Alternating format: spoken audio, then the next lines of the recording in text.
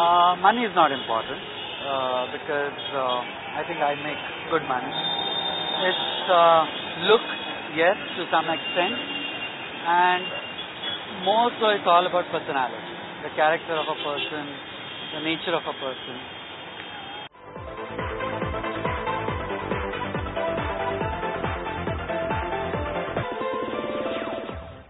I would choose nature because today's generation we have lots of money, so we can earn money.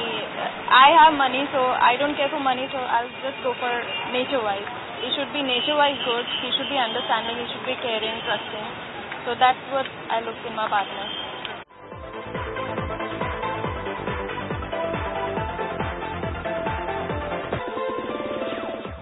I think it's more about compatibility, how compatible we are.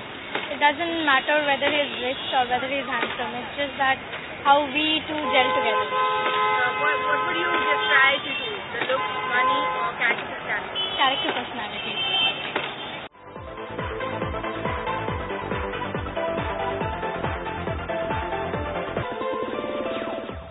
Of course, his character and personality because that counts. Looks will go in a age.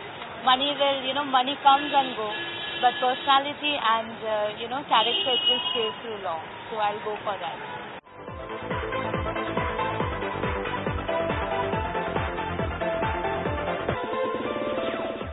Well, we've seen our youngsters in Delhi opting for personality over looks and money, and the scene here in Mumbai is no different. Personality still gets the better of looks and money despite living in a materialistic world. This is your net jockey, Mwakala, signing off.